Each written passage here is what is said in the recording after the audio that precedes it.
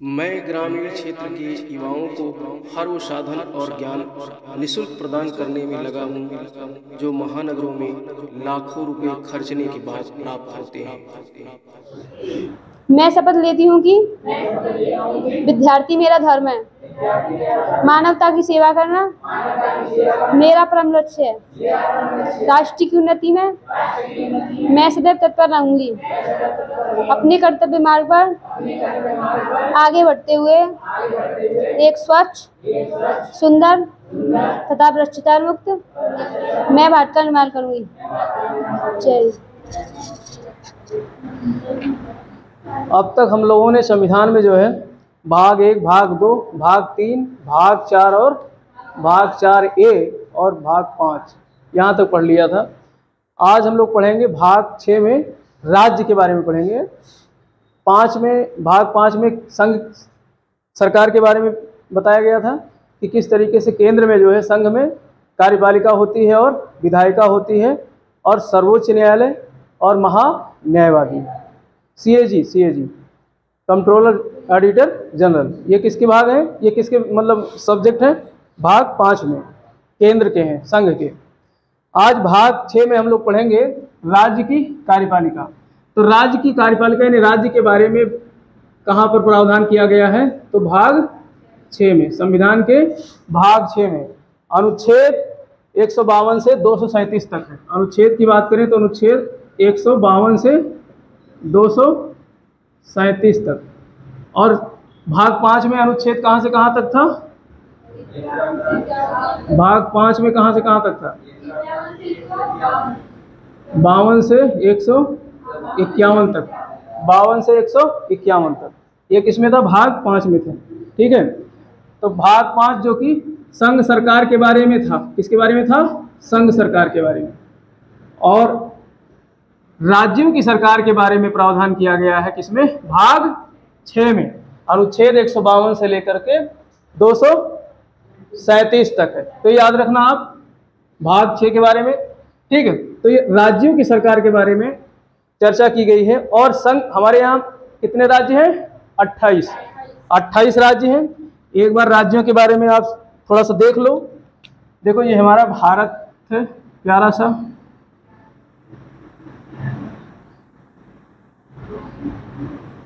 ये भारत है हमारा। ठीक। इस भारत में राज्यों की संख्या अभी कितनी है वर्तमान में? 28 राज्य है। कितने राज्य हैं? 28 राज्य ठीक। है और संघ का, संघ की सरकार कहाँ बैठती है? दिल्ली में, नई दिल्ली में। संघ सरकार नई दिल्ली में बैठती है और 28 राज्यों की सरकार अपने अपने राज्यों में, जहाँ उनकी राजधानी वहाँ बैठती है सरकारें। ठीक। तो इनके बारे में, इन 28 राज्यों के बारे में संविधान में कि ये शासन कैसे संचालित करेंगे? ये राज्य अपना शासन, अपनी सरकारें कैसे चलाएँगी? इसका प्रावधान हमारे संविधान में कहाँ पर है? भाग छः में। भाई, संविधान, हमने बताया संविधान क्या है? संविधान एक ऐसी पुस्तक है जिसमें देश को संचालित करने के नियम और कानून दिए गए हैं। देश के साथ साथ में व्यक्ति कैसे व्यवहार करेगा? व्यक्ति की क्या स्वतंत्रताएँ हैं? क्या आज़ादी हैं? उसके क्या अधिकार हैं? क्या कर्तव्य हैं? और इसके अलावा सरकारें कैसे संचालित होंगी, वो सारी चीज़ें कहाँ लिखी गई हैं? हमारे भारत के संविधान में लिखी गई हैं। ठीक है? तो यही चीज़ राज्य के बारे में, हमारे भारत के संविधान में लिखा हुआ है। भाग छः जैसे चैप्टर होता है। उसी तरीके से भाग छः यानी चैप्टर नंबर सिक्स में पूरी कहानी लिखी हुई है राज्य के बारे में। अगर राज्य के बारे में देखो, बात करें तो संघ में हमने देखा था कि संघ की कार्यपालिका होती थी, संघ की विधायिका होती थी। तो ऐसे ही राज्यों की कार्यपालिका है। राज्य की कार्यपालिका। ठीक। अब राज्य की कार्यपालिका में कौन कौन आता है? कार्यपालिका का मतलब मैंने बताया था पहले जब संघ पढ़ाया था। देखो, दोनों को तुलना करके आपको पढ़ना रहेगा। दोनों को जब तुलना करके पढ़ोगे तो आपको जो है, आसानी से समझ में आएगी बातें। यहाँ आज इस लेक्चर को पढ़ लो, फिर संघ का पहला वीडियो जो मैंने पढ़ाया था, भाग पाँच में, उसे देख लेना। फिर बहुत सारी चीज़ें आपको क्लियर हो जाएँगी। राष्ट्रपति और राज्यपाल में ज़्यादा अंतर नहीं है, सारा चीज़ वहाँ से क्लियर हो जाएगा। ठीक। तो हमने जो कार्यपालिका के बारे में बताया था एग्जीक्यूटिव के बारे में, यहाँ पर क्या होता है कि जो नियम कानून होते हैं, उन नियम कानून के अनुसार जो है सरकारें क्या करती हैं, राष्ट्र को चलाती हैं। और यहाँ पर राज्य को चलाएँगी। यहाँ पर क्या चलाएँगी? राज्य को। तो कौन कौन इसके अंग होते हैं? कार्यपालिका में कौन कौन होते हैं? भाई, केंद्र में, संघ में हमने बताया था, कार्यपालिका का प्रमुख कौन होता है? राष्ट्रपति। और यहाँ पर कार्यपालिका का प्रमुख कौन होगा? राज्यपाल होगा।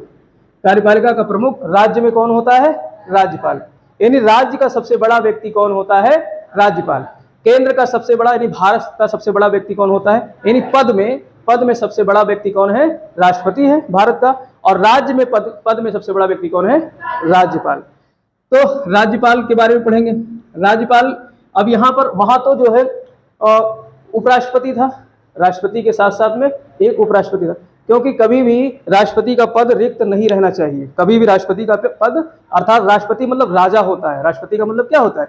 राजा। और सिंहासन पर अगर राजा नहीं बैठा है तो फिर उस देश का मतलब भविष्य अं- अंधकार में हो जाएगा। तो इसलिए राजा का पद खाली न रहे, इसलिए उसके साथ में एक सहायक मतलब व्यक्ति को साथ में रखा जाता है, जिससे जैसे ही किसी कारणवश राज, राजा का पद खाली हो, अर्थात राष्ट्रपति का, वैसे ही उपराष्ट्रपति उसके कार्यों को देखने लगता है। तो वहाँ तो उपराष्ट्रपति रखा गया। लेकिन राज्यपाल की व्यवस्था में, राज्यों की व्यवस्था में ऐसा नहीं है। यहाँ पर राज, ज़रूरी नहीं कि राज्यपाल का पद खाली ना रहे। कभी कभी तो कई महीने तक पद खाली पड़ा रहता है। क्योंकि राज्यपाल का पद जो है, केंद्र और राज्यों के बीच संबंध को स्थापित करने के लिए बनाया गया है। केंद्र और राज्यों के बीच संबंध। जैसे मतलब हमारे देश के कुछ राजदूत जाते हैं दूसरे देशों में, या पहले हमारे देश में तमाम जो है अलग अलग राज्य हुआ करते थे। तो उन राज्यों के बीच संबंध स्थापित रहे अच्छे, इसलिए जो है दूत जाकर रहा करते थे। तो दूत नहीं होते हैं एक तरीके से, लेकिन मतलब केंद्र का एक प्रतिनिधि जो है राज्य में रहता है। तो वो राज्यपाल लेकिन यहाँ उपराज्यपाल की व्यवस्था नहीं की गई है कि राज्यों में उपराज्यपाल होगा। तो राज्य में उपराज्यपाल नहीं होता है। राज्यपाल के बाद में अगर बात करें तो यहाँ, वहाँ पर प्रधानमंत्री होता तो यहाँ पर कौन होता है? सीएम होता है, मुख्यमंत्री होता है। राज्यों में कौन होता है? वास्तविक प्रधान कौन होता है? शासन का वास्तविक प्रधान मुख्यमंत्री होता है। संवैधानिक प्रधान कौन होता है? राज्यपाल होता है। भाई, राष्ट्रपति संवैधानिक प्रधान होता है कहाँ? संघ में।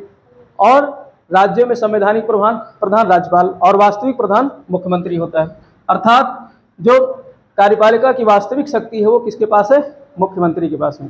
और जो है, राज्यपाल को सहयोग करने के लिए एक मंत्री परिषद होती है। कौन, क्या होती है? मंत्रिमंडल होता है। मंत्रिमंडल होता है। ठीक। मंत्रिमंडल में तीन प्रकार के मंत्री होते हैं। मंत्रिपरिषद यानी कैबिनेट मंत्री, उप मंत्री और राज्य मंत्री। तो मंत्रिमंडल होता है। अब ये मंत्रिमंडल और सीएम मिलकर के सलाह किसको देते हैं? राज्यपाल को, कि सरकार कैसे चलेगी। ठीक तो ये इनके एक तरीके से सलाहकार होते हैं। और वहाँ पर हमने देखा था महान्यायवादी। वहाँ पर क्या देखा था? महान्यायवादी। अर्थात संघ का केंद्र का एक वकील होता है, सरकारी वकील, जिसको क्या बोलते हैं?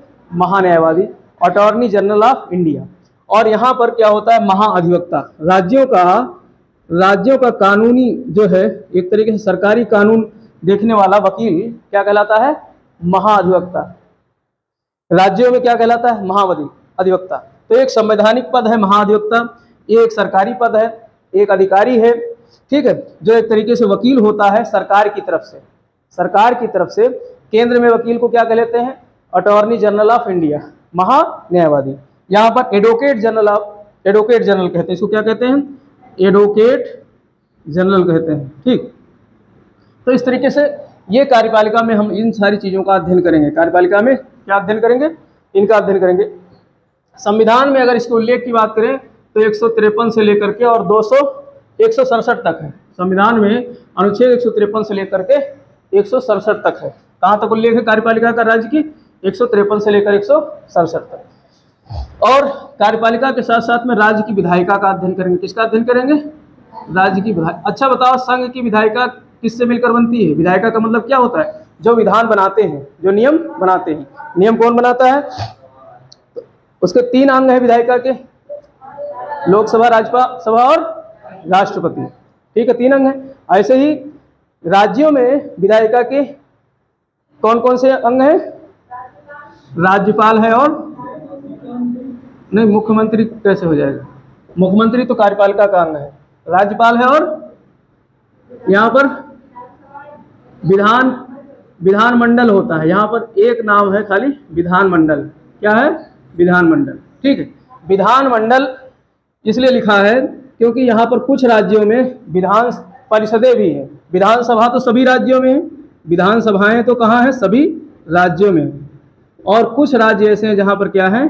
विधान परिषदें हैं। ठीक है, हम कल बताएँगे, कल आगे आगे वाली क्लास में बताएँगे चित्र के माध्यम से।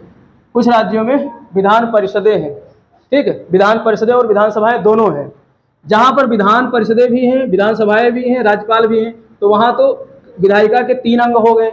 और ज़्यादातर राज्यों में सिर्फ़ क्या है? विधानसभाएँ हैं। तो राज्यपाल और विधानसभाएँ, ये दो प्रमुख अंग हैं किसके? राज्य की विधायिका के, राज्य की विधायिका की। ठीक, विधानसभाएँ कानून बनाती हैं, राज्यपाल उस कानून को जो है सिग्नेचर करके कानून बना देता है। ठीक सिग्नेचर करके उसे पारित कर देता है तो वो कानून बन जाता है। जो विधान होती है, कौन बनाता है? विधानसभाएँ। अगर जहाँ विधान परिषदें हैं, जैसे उत्तर प्रदेश में विधान परिषद भी है तो विधान परिषद और विधानसभा दोनों मिलकर के किसी कानून को पारित करती हैं और राज्यपाल उस पर साइन करके उसे जो है धरातल पे मतलब लागू करने के लिए तैयार कर देता है। ठीक? इसी प्रकार से हम लोग केंद्र में पढ़े थे सर्वोच्च न्यायालय और यहाँ क्या पढ़े हम लोग? उच्च न्यायालय। यहाँ पर पढ़े हम लोग उच्च न्यायालय, हाई कोर्ट। ठीक? अब देखो, राज्य की विधायिका का प्रावधान किया गया एक सौ अड़सठ से लेकर के 212 संविधान के अनुच्छेद एक सौ अड़सठ से लेकर के दो सौ तक। और उच्च न्यायालय का ज़िक्र कहाँ है? उच्च न्यायालय है आपका एक 214 से लेकर के 232 तक। 214 से लेकर के 232 तक। ठीक है? तो ये तीन चीज़ें हम लोग पढ़ेंगे, जिसमें उच्च न्यायालय तो हमने पढ़ लिया, हाई कोर्ट, सुप्रीम कोर्ट के साथ। पढ़ लिया कि नहीं पढ़ लिया? अब हमें सिर्फ़ राज्य की विधायिका के बारे में अध्ययन करना है और कार्यपालिका के बारे में अध्ययन करना है। ठीक तो इसमें पहला टॉपिक हमारा जो होता है वो राज्यपाल के बारे में होता है। क्या पढ़ेंगे? राज्यपाल। देखो, सबसे राज्यपाल को पढ़ने से पहले हम लोग राज्य के, अब ये राज्य है क्या? राज्य की परिभाषा हम लोग पहले भी पढ़ चुके हैं। पढ़े हैं ना? अनुच्छेद बारह में राज्य की परिभाषा हम लोग पढ़ लिए हैं। आर्टिकल बारह में। आर्टिकल बारह है, जो कहाँ से संबंधित है? मूल अधिकार से। मूल अधिकार में है ना आर्टिकल बारह? आर्टिकल बारह और मूल अधिकार अनुच्छेद बारह से लेकर कहाँ तक है? पैंतीस तक। ठीक है, अनुच्छेद बारह में राज्य की परिभाषा दी गई है। अर्थात राज्य का मतलब क्या होगा? संघ सरकार, ठीक है? संसद होगी और राज्य सरकारें और विधानमंडलें होंगी और इसके अलावा स्थानीय प्राधिकरण और अन्य प्राधिकरण, ये सब मिला करके क्या कहलाएँगे? राज्य कहलाएँगे।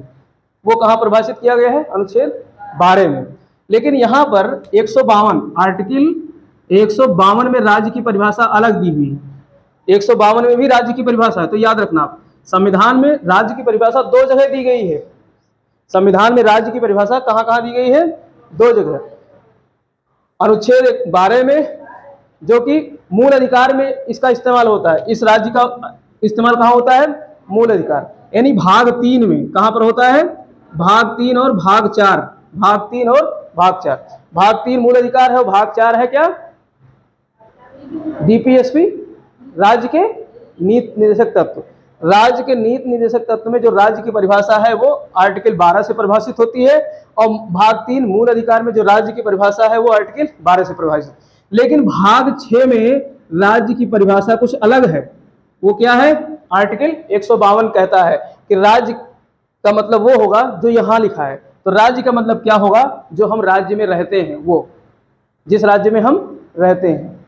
उत्तर प्रदेश एक राज्य है तो ये राज्य इसकी परिभाषा अनुच्छेद एक सौ बावन में मिलेगी। लेकिन जब हम राज्य का नाम लेकर के मूल अधिकार की बात करते हैं कि राज्य ये करेगा, राज्य वो करेगा तो वहाँ पर राज्य का मतलब हो गया केंद्र की बात करें तो केंद्र सरकार एक राज्य हो जाएगा। संसद की बात कर रहे हैं, कानून बना रहे हैं तो संसद की बात हो जाएगी। राज्यों की बात कर रहे हैं, यानी जो राज्य सरकारें हैं तो वो राज्य की परिभाषा में आ जाएँगी। तो इस तरीके से इसमें अंतर है, ठीक? तो अनुच्छेद एक सौ बावन पता चल गया आपको? अनुच्छेद एक सौ बावन में क्या है? राज्य की परिभाषा है, जो भाग छः को परिभाषित करती है। हम लोग अब इसमें राज्यपाल के बारे में अध्ययन करेंगे। राज्यपाल जो हमारा है, ये एक संवैधानिक पद है। राज्यपाल क्या है? संवैधानिक पद है। राज्यपाल को अंग्रेज़ी में क्या कहते हैं? गवर्नर। क्या कहते हैं? गवर्नर। जो गवर्न करता है, गवर्नर। ठीक है? गवर्नर, यानी किसी चीज़ को गवर्न करना। गवर्न करना मतलब नियंत्रित करना, यानी कि उसको संचालित करना।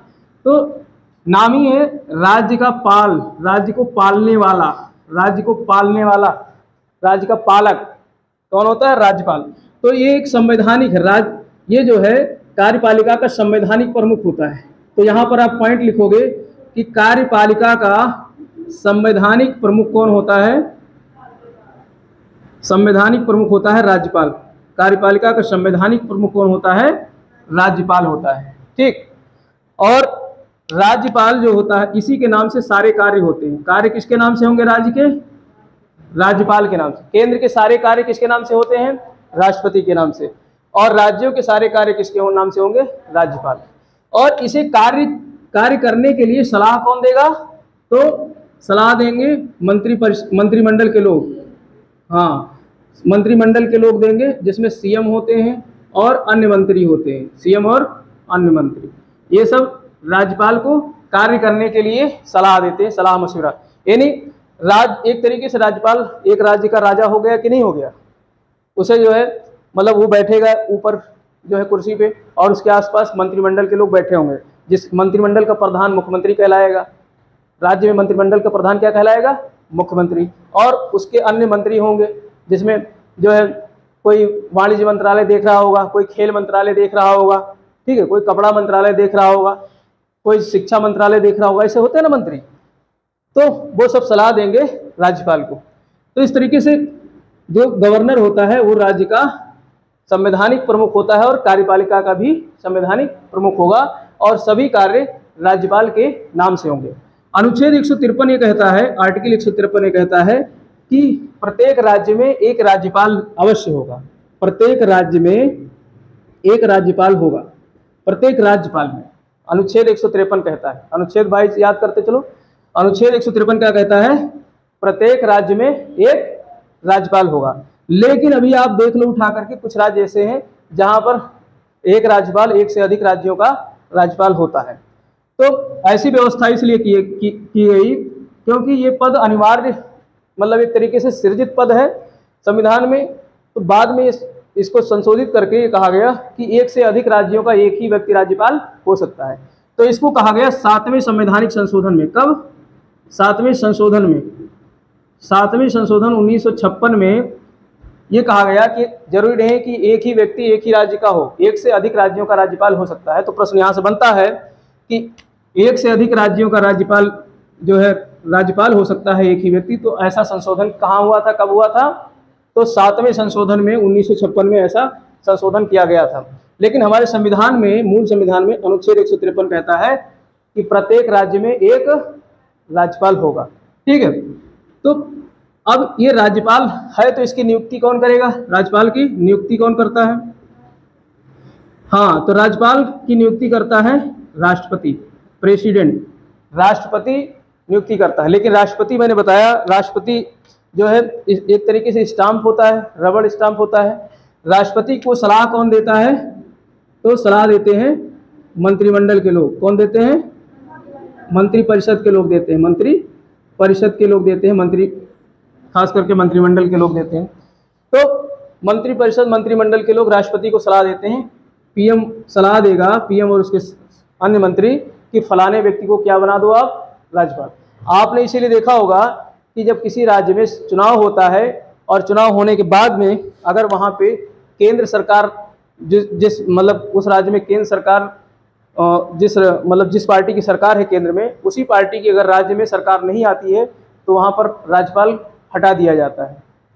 मतलब जैसे केंद्र में सत्ता बदली अगर किसी पार्टी की हाँ मान लो केंद्र में कांग्रेस थी और किसी राज्य में जो है कांग्रेस के अलावा दूसरी सरकार आ गई तो कांग्रेस अपने आदमी को उठा करके वहाँ पर राज्यपाल बना करके भेजेगा। या कांग्रेस बदल करके बीजेपी आ गई और यूपी में जैसे सपा की सरकार है और केंद्र में जो है बीजेपी की सरकार आ गई। इसके पहले अगर मान लो सपा की अगर सरकार केंद्र में रही होती तो सपा वाला तो अपने आदमी को बिठा के रखता है यहाँ पर। लेकिन जैसे सत्ता परिवर्तन हुआ, वैसे ही वो राज्य में अपने पार्टी के आदमी को बिठा देगा। तो इस तरीके से जो है, इसीलिए ये पावर मंत्रिपरिषद के पास में है। और राष्ट्रपति उसको लिस्ट देता है कि ये नाम आप जो है प्रस्तावित करके फलाने राज्य में राज्यपाल बना करके भेज दो। ठीक? तो राष्ट्रपति महोदय किसकी नियुक्ति करते हैं? राज्यपाल की। और सलाह कौन देता है? मंत्रिपरिषद के सदस्य देते हैं। ठीक? अब नियुक्ति हो गई। इसके बाद में शपथ की बात करते हैं। तो शपथ कौन दिलाता है इनको? हाई कोर्ट का मुख्य न्यायाधीश। शपथ कौन दिलाता है? हाई कोर्ट का मुख्य न्यायाधीश। तो याद रखना, हाई कोर्ट के मुख्य न्यायाधीश महोदय इनको क्या दिलाते हैं? शपथ दिलाते हैं। और अगर मुख्य न्यायाधीश नहीं है तो हाई कोर्ट के वरिष्ठतम न्याय, न्यायाधीश कौन? वरिष्ठतम वरिष्ठतम जज जो है, इनको शपथ दिलाते हैं। ये याद रखना। तो राष्ट्रपति महोदय शपथ नहीं दिलाते प्रश्न यहाँ से पूछा जाता है कि नियुक्ति राष्ट्रपति करता है तो शपथ भी हो सकता है, राष्ट्रपति दिलाए तो राष्ट्रपति नहीं। जिस राज्य में जाएँगे वो, राज्यपाल बन के वहाँ के सुप्रीम हाई कोर्ट के मुख्य न्यायाधीश द्वारा उनको शपथ दिलाई जाएगी। और अगर मुख्य न्यायाधीश नहीं है तो ऐसी स्थिति में जो भी वरिष्ठ न्यायाधीश होगा, वरिष्ठ न्यायाधीश द्वारा उनको शपथ दिलाई जाएगी। और ये भी देखा है कि राज्यपाल महोदय जो है, वो शपथ दिलाते हैं किसको? हाई कोर्ट के न्यायाधीशों को। तो दोनों एक दूसरे को शपथ दिलाते हैं, याद रखना। दोनों एक दूसरे को शपथ दिलाते हैं। ठीक है? तो ये शपथ हो गया। अब इसके अलावा इनकी क्या क्या अर्हताएँ हैं। क्या क्या अर्हताएँ हैं। यानी योग्यताएँ क्या होनी चाहिए? राज्यपाल बनने के लिए दो मुख्य योग्यताएँ हैं। एक तो भारत का वो क्या हो? नागरिक हो। भारत का वो नागरिक हो। यानी कोई भी व्यक्ति जो भारत का नागरिक है, वो राज्यपाल बन सकता है। और इसके अलावा उसकी आयु कम से कम पैंतीस वर्ष हो। कितनी हो? पैंतीस। यही आयु राष्ट्रपति के लिए भी है। अब भारत का नागरिक ऐसा नहीं कि जन्म मतलब वो जन्म से ही हो। भारत का नागरिक, अगर मान लो कोई बाहर का व्यक्ति आया और रजिस्ट्रेशन के माध्यम से भारत की नागरिकता प्राप्त कर लेता है तो वो भी राज्यपाल बन सकता है। ठीक है? ये दो मुख्य जो है, क्या है? योग्यताएँ हैं। भारत का नागरिक होना चाहिए और उसकी आयु कम से कम पैंतीस वर्ष की होनी चाहिए। और इसके अलावा उसे लाभ का पद ना धारण करना चाहिए। लाभ का पद धारण ना करता हो सब मैंने बता दिया, लाभ का पद क्या होता है? तो वो लाभ के पद पे अगर है तो उसे छोड़ना पड़ेगा।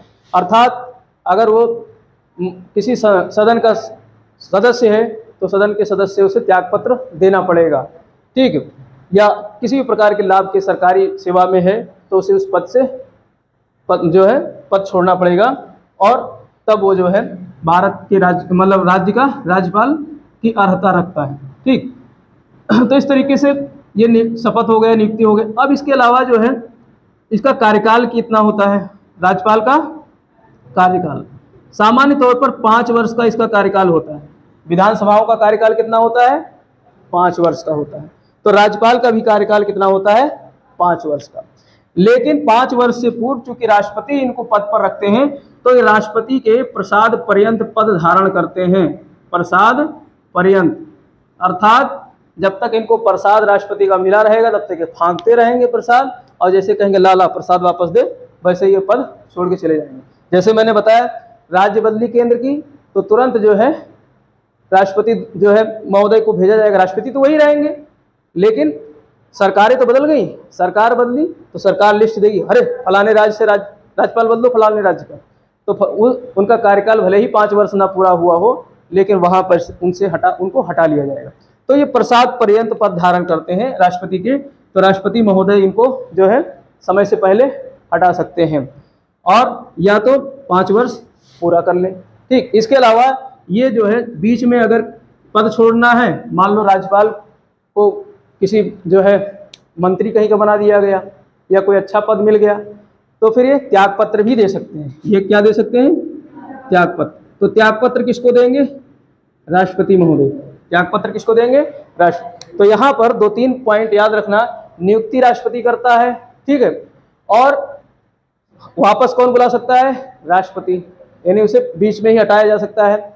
और इसके अलावा त्याग पत्र भी राष्ट्रपति को दिया जाता है। इसके अलावा बात करें इनकी सैलरी वगैरह की। तो राज्यपाल की सैलरी जो है संसद निर्धारित करती है। कौन निर्धारित करता है? संसद। संसद विधि बना करके राज्यपाल के तन, वेतन भत्तों को निर्धारित करता है। वेतन भत्तों को कौन निर्धारित करता है? राज्यपाल के संसद। तो संसद विधि बनाकर संसद विधि बनाकर, कानून बना करके राज्यपाल के वेतन को निर्धारित करता है। लेकिन वेतन कहाँ से दिया जाएगा? राज्य की संचित निधि से। कहाँ से दिया जाएगा? राज्य की संचित निधि से। राष्ट्रपति को वेतन कहाँ से दिया जाता है? केंद्र केंद्र की संचित निधि से। और राज्यपाल को राज्य के। निर्धारण कौन करेगा? संसद। यानी समय समय पर वेतन बढ़ाना है तो कौन बढ़ाएगा? संसद बढ़ाएगी। अब यहाँ प्रश्न पूछा जाएगा। ऑप्शन में देगा विधानसभाएँ, संसद या फिर राज्य सरकारें, केंद्र सरकारें तो ऑप्शन कहाँ लगाओगे? संसद में। ऑप्शन कहाँ लगाओगे? संसद में।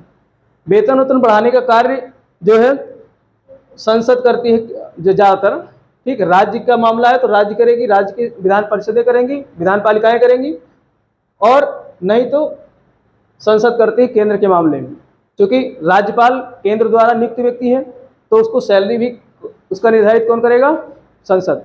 नहीं तो दिक्कत हो जाएगी। पता चले किसी राज्य में राज्यपाल कुछ सैलरी पा रहा हो, किसी राज्य में राज्यपाल कुछ सैलरी पा रहा हो। तो इसलिए एक यूनिफाइड व्यवस्था लागू रहे, इसलिए संसद द्वारा इसको मतलब वेतन भत्तों को निर्धारित किया जाता है। लेकिन वेतन दिया जाएगा जिस राज्य में गवर्नर होगा, उस राज्य की संचित निधि से।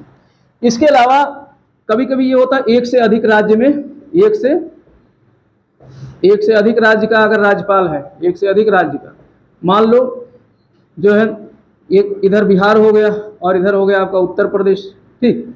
अब एक राज्यपाल महोदय हैं, जो बिहार और उत्तर प्रदेश दोनों को देख रहे हैं। तो अब इनमें सैलरी कौन देगा? ऐसा तो है नहीं कि खाली उत्तर प्रदेश ही दे, दोनों को देख रहे हैं। तो दोनों को देना पड़ेगा। तो दोनों को देना पड़ेगा तो अब इन दोनों में लड़ाई ना हो कि भाई बिहार कहेगा, मैं तो छोटा हूँ, मैं तो कम दूँगा सैलरी उत्तर प्रदेश बड़ा ही ज़्यादा दे। तो इसके लिए जो है राष्ट्रपति महोदय जो है निश्चय करते हैं। कौन निश्चय करता है? राष्ट्रपति। राष्ट्रपति निश्चय करेगा कि किस अनुपात में कितना वेतन जो है, किस, कौन सा राज्य देगा? कौन सा राज्य देगा? ठीक है? तो राष्ट्रपति महोदय निर्णय करते हैं कि बिहार और उत्तर प्रदेश में अनुपात क्या रहेगा सैलरी का। तो वो ये देखेंगे कौन सा राज्य बड़ा है और कौन सा राज्य विकसित है, उस हिसाब से वो सैलरी निर्धारित कर देते हैं। तो बिहार और उत्तर प्रदेश में देखने वाले एक ही राज्यपाल को दोनों जगह से अलग अलग अनुपात में या बराबर हो सकता है या अलग अलग हो सकता है तो वो इसका निर्धारण कौन करता है? राष्ट्रपति करता है। ठीक तो इस तरीके से इनके वेतन भत्तों का निर्धारण तो संसद करती है, लेकिन जब दो से अधिक, एक से अधिक राज्यों में बात बनती है तो वहाँ पर जो अनुपात है, सैलरी का अनुपात, वो कितना होगा, वो राष्ट्रपति निर्णय करते हैं। अब इस समय वर्तमान में इनकी सैलरी कितनी है? राज्यपाल की सैलरी वर्तमान में साढ़े तीन लाख रुपए प्रति मंथ है। कितनी है? साढ़े तीन लाख रुपए पर मंथ। हर महीना राज्यपाल को तनख्वाह मिलती है साढ़े तीन लाख। राष्ट्रपति को कितनी मिलती है? भूल गए। राष्ट्रपति को पाँच लाख और उपराष्ट्रपति को चार लाख। उपराष्ट्रपति को चार लाख सैलरी मिलती है।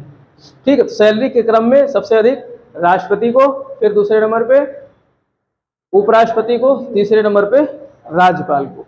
और सुप्रीम कोर्ट के मुख्य न्यायाधीश को कितनी सैलरी मिलती है?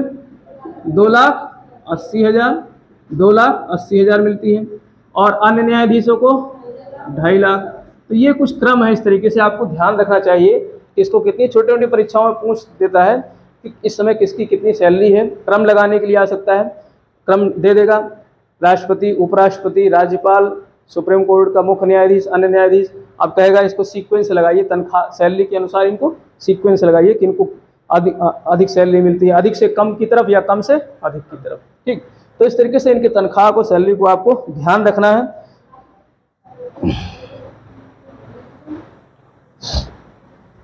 तो ये वेतन भत्तों का निर्धारण हो हो गए वेतन। अब इसके अलावा जो है हम लोग आगे पढ़ेंगे इनकी कार्य एवं शक्तियाँ, राष्ट्रपति की, राज्यपाल की कार्य एवं शक्तियाँ पावर्स राज्यपाल की जिस प्रकार से जो है हमारे राष्ट्रपति के तमाम कार्य थे, शक्तियाँ थी पावर्स थी, उसी तरीके से इनके भी कार्य और शक्तियाँ हैं पावर्स हैं। जैसे विधा कार्यपालिका की शक्ति है, सबसे प्रमुख शक्ति तो इनकी क्या है? कार्यपालिका, ठीक। विधायिका की शक्ति है, यानी विधि बनाने की शक्ति है इनके पास में। और कभी राष्ट्रपति भी अध्यादेश जारी करता है और ये भी अध्यादेश अध्यादेश क्या होता है?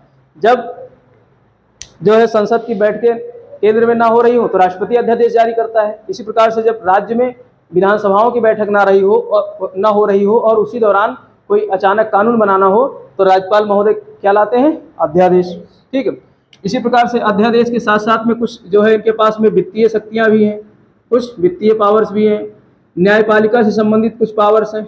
न्यायपालिका में जो है नियुक्ति नियुक्ति करते हैं ना, अधीनस्थ न्यायालय के जो है सीजे वगैरह इनकी सबकी नियुक्ति इन्हीं के मतलब इन्हीं द्वारा की जाती है, न्यायपालिका की। और इसके अलावा कुछ विवेकाधीन शक्तियाँ होती हैं, जिस प्रकार से राष्ट्रपति के पास होती हैं, ऐसे ही इनके पास में बस राष्ट्रपति से ये दो मामलों में भिन्न है। ये सारी शक्तियाँ राष्ट्रपति के पास भी होती है और इनके पास भी होती है। राष्ट्रपति महोदय किसी मृत्युदंड व्यक्ति को उसकी सजा को माफ़ कर सकते हैं। लेकिन राज्यपाल के पास ये पावर नहीं है तो प्रश्न कभी कभी पूछा जाता है कि क्षमा मृत्यु प्राप्त व्यक्ति को क्षमा दान करने की शक्ति केवल राष्ट्रपति को है या राज्यपाल को भी है? तो राज्यपाल को नहीं है। ये पावर राज्यपाल के पास नहीं है। किसी भी राज्य का व्यक्ति अगर मृत्युदंड पाया है तो उसको प्रार्थना कहाँ देनी पड़ेगी? क्षमा के लिए राष्ट्रपति के पास, ना कि राज्यपाल के पास में। ठीक? और किसी सजा को कम करवाना है, मान लो किसी को आजीवन कारावास हो गई तो उसके सजा को कम करवाना है तो ये भी पावर राज्यपाल के पास नहीं है। यानी सजा को कम कराना या मृत्युदंड को माफ़ कराना, ये प्रावधान जो है, राज्यपाल को, ये पावर राज्यपाल को नहीं है। तो इसमें से एक एक पावर्स का हम लोग बाकायदा जो है बारी बारी से अध्ययन करेंगे। कार्यपालिका की शक्ति, विधायिका की शक्ति, एक क्लास में पूरा लग जाएगा। तो ये सारा चीज़ हम लोग एक क्लास में पढ़ेंगे। इसको फटाफट रिवाइज करते हैं, बस याद हो जाएगा। देखो, राज्य राज्य जो है किस भाग में है? राज्य की सरकार। राज्य की सरकारों के बारे में प्रावधान किस भाग में किया गया है? भाग छ में। अनुच्छेद कहाँ से कहाँ तक है? अनुच्छेद एक सौ बावन से लेकर के दो सौ तक। तो ये भाग छ में है। और एक सौ बावन में राज्य की क्या है? परिभाषा। और एक जगह राज्य की परिभाषा और दी गई है अनुच्छेद बारह में, जो कहाँ लागू होता है? भाग तीन और भाग चार। भाग तीन में क्या है? मूल अधिकार। भाग चार में क्या है? राज्य के नीति तो इनके जो राज्य की बात आती है, वो भाग बारह में लिखा हुआ है कि इस इस परिभाषा के अनुसार राज्य परिभाषित होगा। ठीक? और यहाँ पर जो है हम लोग देखते हैं राज्य में राज्य की कार्यपालिका और राज्य की विधायिका और जो है हाई कोर्ट। ये राज्य के जो है, अगर हाई कोर्ट प्रश्न ऐसे पूछेगा कि उच्च न्यायालय किस भाग में है? उच्च न्यायालय का संविधान के किस भाग में उल्लेख किया गया है? तो किस भाग में है? भाग छ में है। और सुप्रीम कोर्ट का भाग पाँच में है। तो देखो कंफ्यूज नहीं होना, याद रखना। है सुप्रीम कोर्ट केंद्र का है तो केंद्र भाग पाँच में है। कैसे भी प्रश्न पूछा जा सकता है ठीक है? तो यहाँ पर जो सबसे मुख्य बात है वो रा, राज्य की कार्यपालिका का संवैधानिक प्रमुख कौन होता है? राज्यपाल। यानी सबसे बड़ा पद राज्य का अगर कोई है तो वो कौन सा है? राज्यपाल का। और राज्य का प्रथम नागरिक भी होता है। केंद्र देश का प्रथम नागरिक कौन है? राष्ट्रपति। और राज्य का प्रथम नागरिक कौन है? राज्यपाल है। ठीक? और जितने भी कार्य राज्य के होते हैं, वो सब किसके नाम से होते हैं? राज्यपाल के नाम से होते हैं। राज्यपाल की नियुक्ति कौन करता है? राष्ट्रपति करते हैं। राष्ट्रपति महोदय किसकी सलाह पर करते हैं? मंत्रिमंडल केंद्र के, मंत्रिमंडल की सलाह पर नियुक्त करते हैं। किसको? राज्यपाल को। और राज्यपाल के वेतन भत्ते का निर्धारण कौन करता है? संसद करती है। और वेतन कहाँ से दिया जाता है? राज्य की संचित निधि से। एक एक पॉइंट याद रखना है। राज्य की संचित निधि से। इस समय वेतन कितना है राज्यपाल का? साढ़े साढ़े तीन लाख है। और राष्ट्रपति का? पाँच लाख। उपराष्ट्रपति का? चार लाख। हाई कोर्ट के मुख्य न्यायाधीश का? हाई कोर्ट के मुख्य न्यायाधीश की बात कर रहे हैं। ढाई लाख। हाई कोर्ट के सुप्रीम कोर्ट ने ध्यान से सुना करो ना क्या कह रहा हूँ। कल ही तो पढ़ाया था। अभी यहाँ मैंने सुप्रीम कोर्ट के मुख्य न्यायाधीश बताया है तो तुम्हारे दिमाग में वही चल रहा है ना?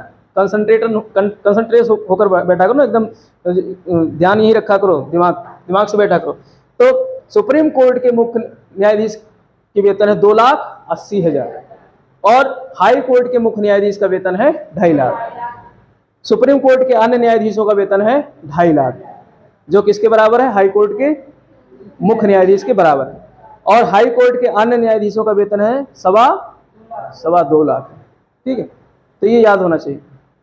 और इसके अलावा इनको शपथ कौन दिलाता है? राज्यपाल को शपथ कौन दिलाता है? राष्ट्रपति। हाई कोर्ट का मुख्य न्यायाधीश। अगर वो नहीं है, तब कौन दिलाएगा? वरिष्ठ न्यायाधीश। ठीक है? और इन न्यायाधीशों को शपथ कौन दिलाता है हाई कोर्ट के? राज्यपाल। तो दोनों एक दूसरे को शपथ दिला देते हैं। ठीक है? और इसके अलावा जो है, नियुक्ति हो गया, शपथ। अब इनकी योग्यताएँ क्या होनी चाहिए? कौन व्यक्ति राज्यपाल बन सकता है? जो भारत का नागरिक हो, ज़रूरी नहीं, जन्म से ही हो, अगर यहाँ पे नागरिकता अर्जित करता है तो वो भी बन सकता है। और उम्र कितनी होनी चाहिए? पैंतीस वर्ष। तो उम्र वाला प्रश्न बहुत पूछता है। पूछ लेगा, जो है, संसद सदस्य बनने के लिए कितनी आयु होनी चाहिए कम से कम? यानी सांसद बनने के लिए। सांसद और विधायक बनने के लिए कितनी आयु होनी चाहिए? पच्चीस वर्ष। राज्यसभा का सदस्य बनने के लिए? राज्यसभा का सदस्य। पैंतीस है? कि तीस वर्ष है? तीस वर्ष है। और राज्यपाल बनने के लिए? पैंतीस। और राष्ट्रपति बनने के लिए? पैंतीस वर्ष तो ये याद रखना है, ये बेसिक बेसिक बातें हैं, इनसे प्रश्न बनते हैं छोटी छोटी परीक्षाओं में प्रश्न आते हैं। ठीक है? और ये इनका कार्यकाल क्या होता है राज्यपाल का? पाँच वर्ष सामान्य तौर पर होता है, लेकिन उसके पहले भी राष्ट्रपति महोदय इनको हटा सकते हैं, पद से हटा सकते हैं। क्योंकि राष्ट्रपति के प्रसाद पर्यंत पद इन धारण करते हैं। प्रसाद मतलब ले लिया प्रसाद, नहीं, जैसे प्रसाद मिलता है। तो वैसे तो प्रसाद जब बांटते हैं, उसमें तो वापस थोड़े नहीं लेते हैं। खिलाओ दो, पुआ वापस करो। वापस नहीं कराते हैं ना? लेकिन यहाँ पर पूरा राष्ट्रपति महोदय पुआ वापस करा सकते हैं। कहते हैं, लाओ दो, अब नहीं खाना है तुमको, खा चुके तो प्रसाद पर्यंत पद धारण करते हैं और बीच में भी जो है इस्तीफा दे सकते हैं। किसको? हाई कोर्ट के न्यायाधीश को हैं? राष्ट्रपति को। तो राष्ट्रपति को ये अपना इस्तीफा दे सकते हैं। प्रश्न ऐसे पूछेगा, राज्यपाल अपना इस्तीफा किसको देता है? ऑप्शन ए हाई कोर्ट के मुख्य न्यायाधीश को, ऑप्शन बी, सुप्रीम कोर्ट के मुख्य न्यायाधीश को, ऑप्शन सी, राष्ट्रपति को, ऑप्शन डी, प्रधानमंत्री को, ऑप्शन ई, मुख्यमंत्री को। छत्तीसगढ़ मध्य प्रदेश में ऑप्शन ई तक पाँच ऑप्शन दिए रहते हैं, ठीक है? ऑप्शन ई दे देगा मुख्यमंत्री। तो आँख मूंद करके लोग मुख्यमंत्री लगा के आएँगे कि राज्य की बात है, मुख्यमंत्री को इस्तीफा देता होगा। तो याद रखना है, किसको देता है? राष्ट्रपति को, ठीक है? तो ये सब बहुत बारीक चीज़ है, लेकिन इनको आपको ध्यान से याद रखना है। हमेशा ऐसे पढ़ा करो, प्रश्न बना बना के पढ़ा करो।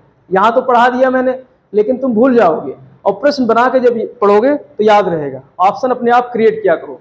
तो जब ऑप्शन अपने आप क्रिएट करोगे तो हमेशा परीक्षा में प्रश्न गलत होने की संभावना बहुत कम रहती है। क्योंकि ऐसे तो याद नहीं रहता है। लेकिन जब आप दिमाग से मतलब प्रश्न बनाओगे अपने हिसाब से तो ऑप्शन याद रहेगा। क्योंकि पहले का सारा पढ़ा हुआ है। तुमने राष्ट्रपति पढ़ लिया, प्रधानमंत्री पढ़ लिया, ये सारा पढ़ लिया है। तो उसे जोड़ लिया करो इसके साथ में। ठीक, अब इसके साथ में इनकी शक्तियों को अच्छी तरीके से आप कल तब समझ पाओगे जब राष्ट्रपति की शक्तियों को आप पढ़ के आओगे। तो राष्ट्रपति की शक्तियों को पूरा कल आप देख करके आओ, चाहे हमारी वीडियो के माध्यम से या फिर चाहे कोई नोट्स होगा, नोट्स रखा होगा, नोट्स से रिवाइज कर लो, या फिर बुक अगर हो तो बुक से पढ़ के आओ, तब आप इनकी शक्तियों के बारे में, राज्यपाल की शक्तियाँ पूरी वैसे ही है हो वही है। बस यहाँ हम बात करते चलेंगे, राज्यपाल राज्यपाल नाम लेते चलेंगे, ठीक है? और वहाँ राष्ट्रपति नाम लेते थे। बस यही अंतर है। तो इसको पढ़ के आना।